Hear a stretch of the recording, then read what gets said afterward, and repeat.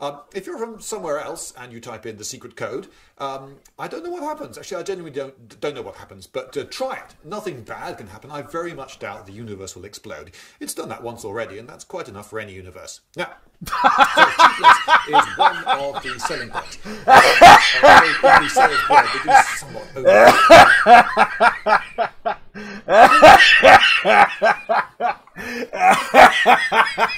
Uh,